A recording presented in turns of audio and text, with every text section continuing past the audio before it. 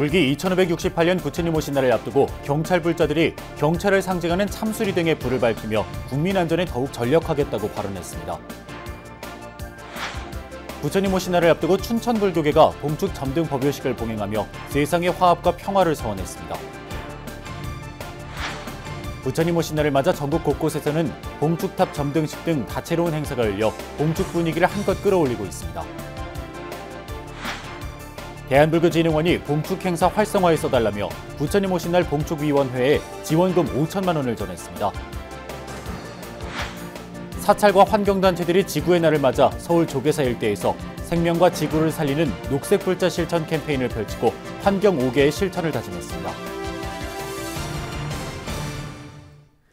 여러분 안녕하십니까? 4월 23일 화요일 BBS 뉴스입니다. 조계종 총무원장 진우 스님과 윤희근 경찰청장이 불기 2568년 부처님 오신 날을 봉축하면서 참수리 등에 함께 불을 밝혔습니다. 부처님 가르침과 선 명상으로 경찰관들의 마음이 평안해지고 이를 바탕으로 국민 안전에 더욱 전력하겠다고 발언했습니다. 보도에 홍진호 기자입니다. 용맹하고 날렵한 경찰의 상징 참수리. 무궁화 대신 법륜이 새겨진 보리수잎을 물고 금방이라도 날아오를 듯합니다. 부처님 오신 날을 봉축하며 참수리 등이 불밝혀졌습니다.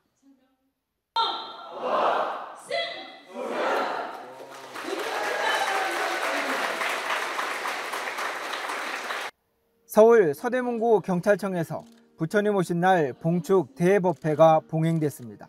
조계종 총무원장 진우 스님과 윤익은 경찰청장 등은 아기 부처님에게 꽃과 관보리식을 올리며 부처님 오신 날을 기렸습니다. 진우 스님은 경찰관들이 국민을 보듬는 것은 불보살의 자비행과 다름없다며 자리를 함께한 경찰 간부들을 일일이 호명하며 축원했습니다.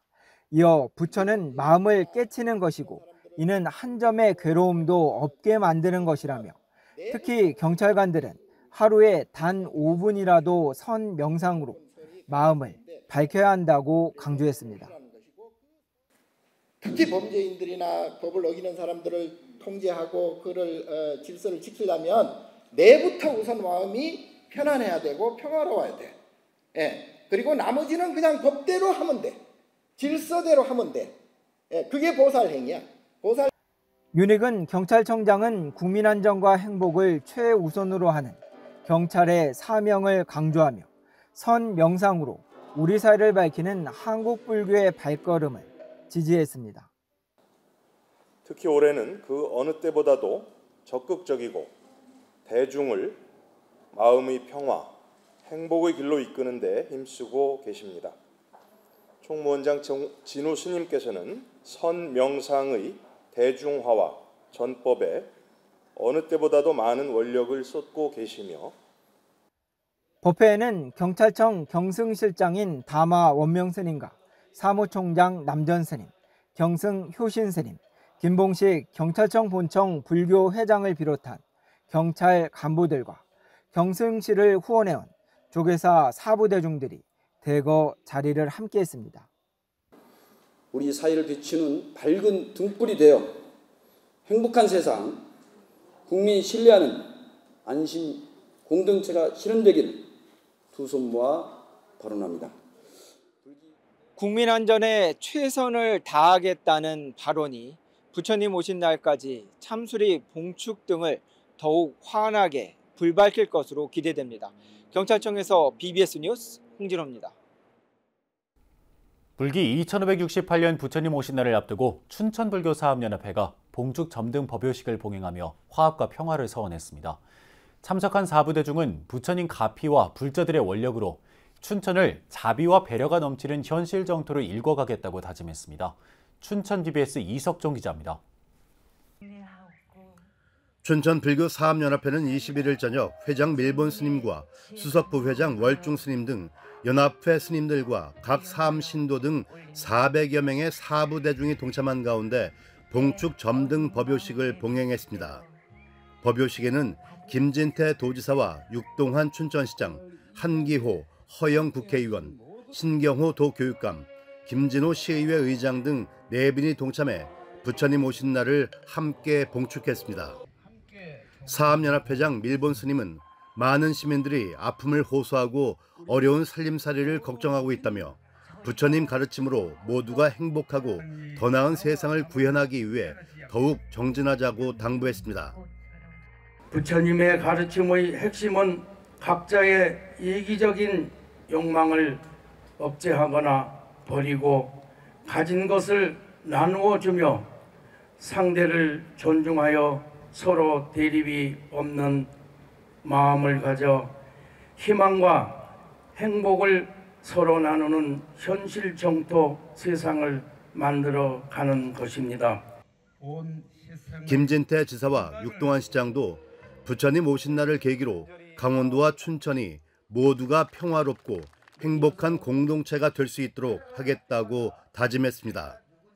우리 스님들의 이 원력으로 부처님의 가피로 정말 마음의 평화, 행복한 우리 강원특별자치도 함께 만들어가겠습니다. 비우고 이해하고 어, 남을 배려하는 노력을 이 시장도 하겠습니다. 아, 같이 이렇게 해주시면은 우리 춘천이 어, 부처님 오신 날에 그날 작은 극락이 되리라 생각합니다.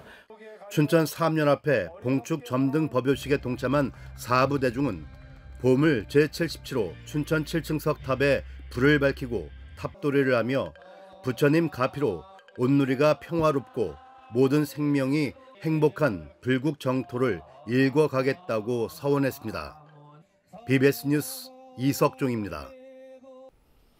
불기 2568년 부처님 오신 날을 앞두고 전국 곳곳에서 봉축탑 점등식 등 다채로운 봉축 행사가 이어지고 있습니다.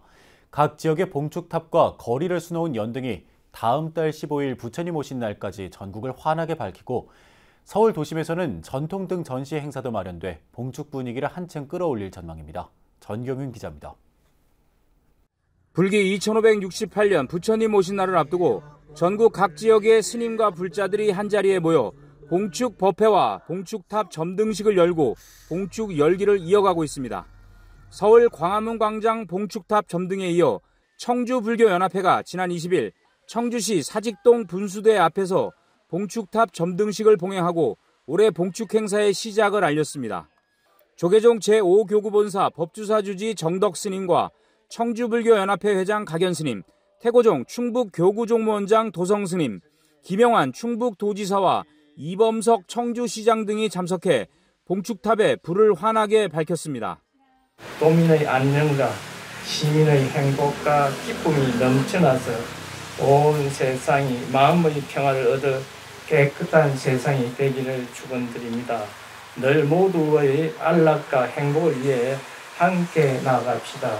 청주를 중심으로 해서 대한민국이 전역으로 다 이게 부처님의 불심의 한기가 다 퍼질 수 있도록 그리고 대한민국이 다 잘 돼서 서로 화합되는 대한민국이 하나가 되는 대한민국이 될 수 있도록 그렇게 발언하고 또 축원하겠습니다. 경기도 성남시 불교사암연합회는 지난 19일 조계종 호계원장 보광스님과 사암연합회장 도봉스님, 안철수 국민의힘 의원 등이 참석한 가운데 성남 탄천 야탑 10교 수변 산책로에서 봉축 점등식을 봉행했습니다.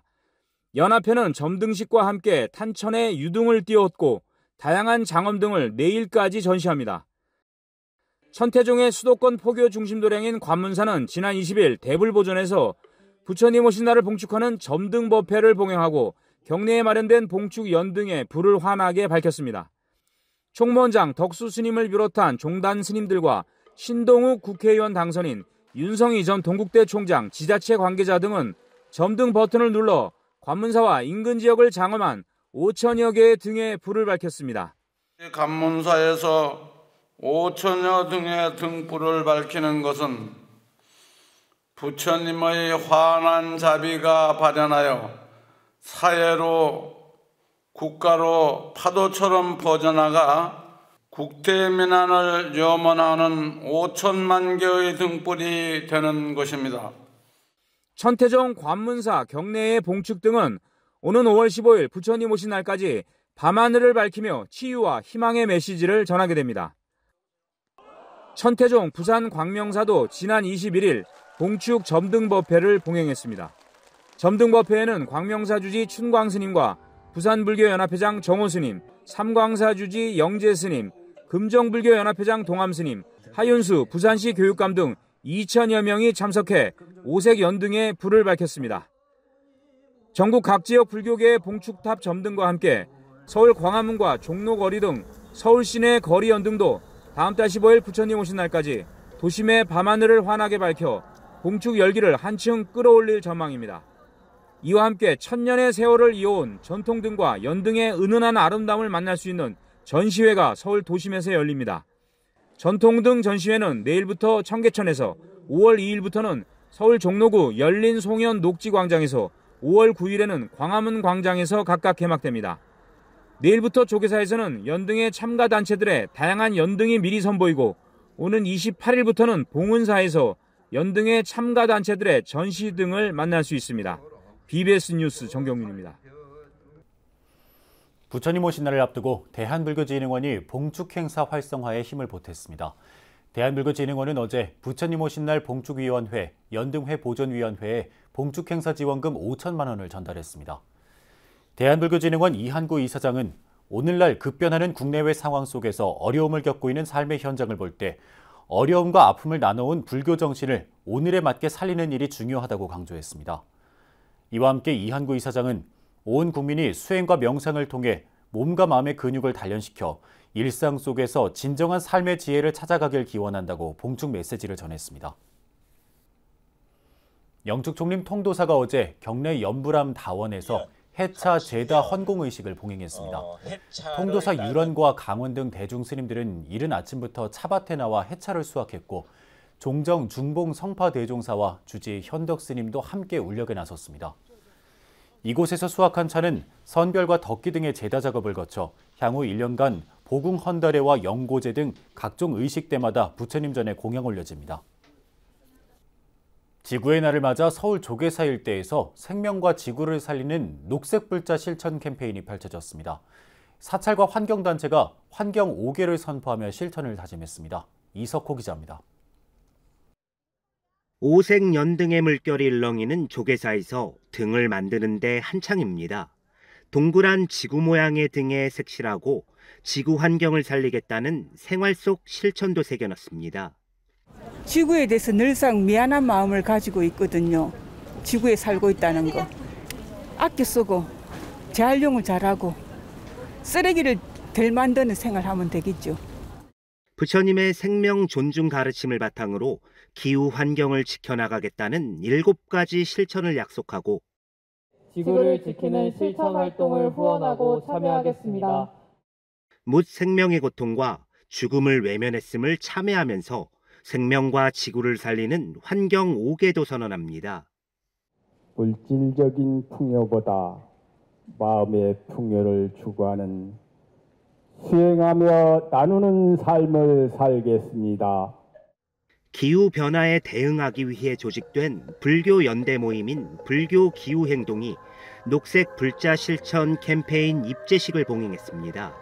지구의 날을 맞아 환경 오염 문제의 심각성을 알리고 불교의 생명 존중 사상을 실천하기 위해서입니다. 기후 변화의 심각성을 알리고 저탄소 생활 실천 캠페인을 환경단체들이 하고 있습니다. 우리 불교계에서는 3년 전부터 불교 기후행동과 불교 환경연대를 중심으로 입제식이 끝난 후 조계사에서 인사동까지 지구 등 행진을 펼치면서 시민들에게 기후위기의 심각성과 환경의 소중함을 알렸습니다. 부처님의 가르침을 따라 이제 물질 만, 만능주의에서 벗어나 자연과 더불어 함께 사는 공성의 길을 가야 합니다. 우리는 자신의 이익을 취하고자 치열한 경쟁과 탐욕으로 환경 그리고 생명을 경시하면서 함부로 살아온 잘못을 참여하고 건강한 지구를 만들어 가야 하겠습니다.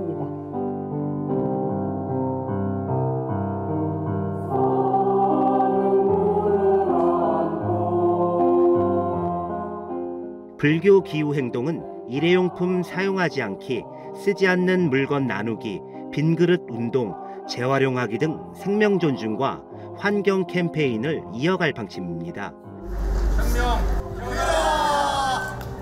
BBS 뉴스 이석호입니다. 경주 불국사와 석굴암이 한국 근대불교 중흥조 경허 스님의 진면목을 조명하는 전산화 구축에 힘을 보탰습니다.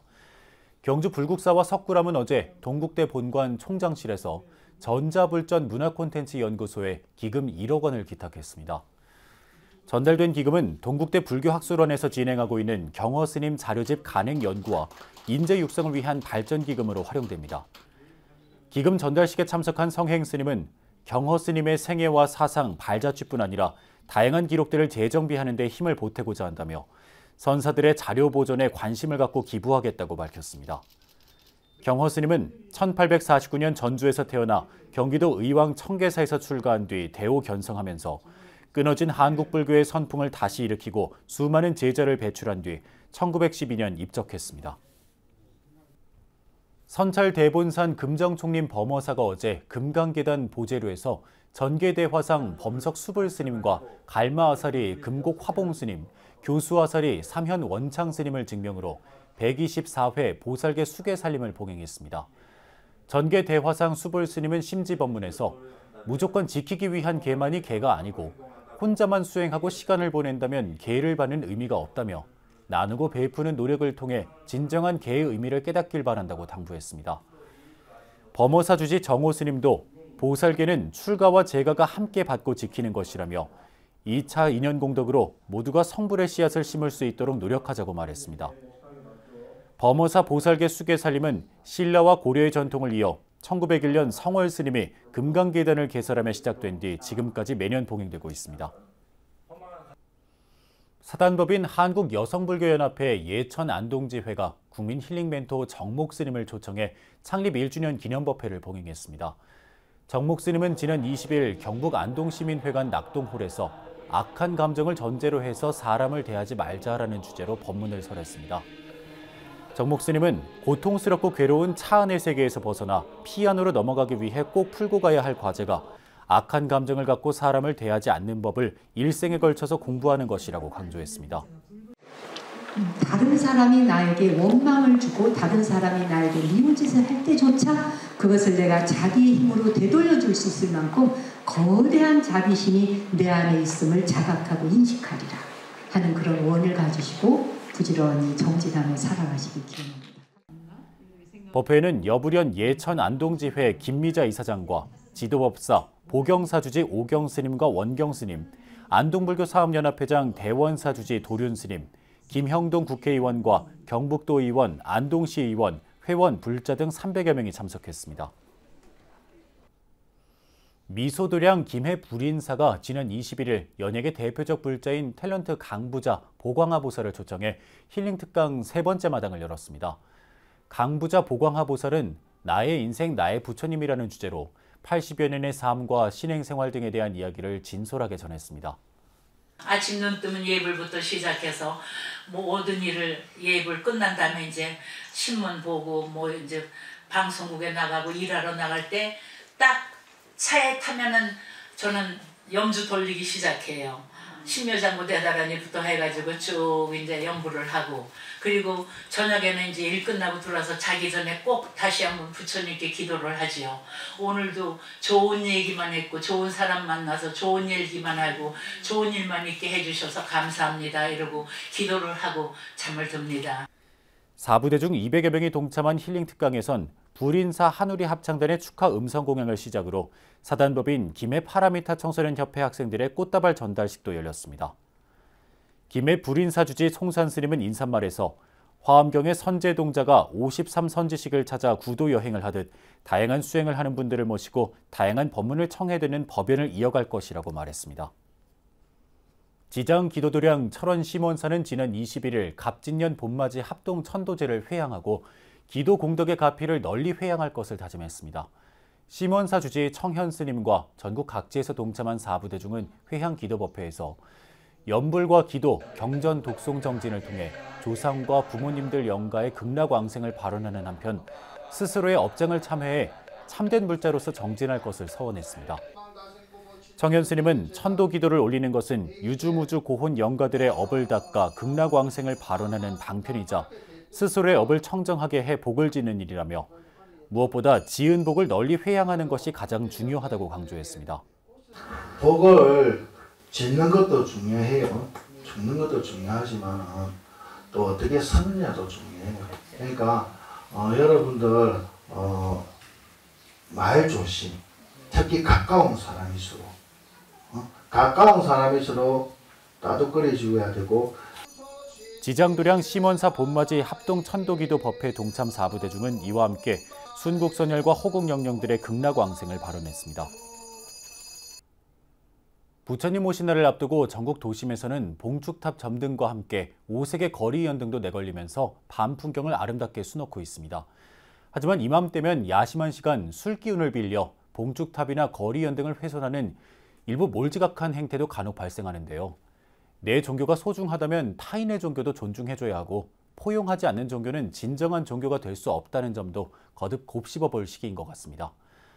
이상으로 4월 23일 화요일 BBS 뉴스를 마칩니다. 시청해주신 여러분 고맙습니다.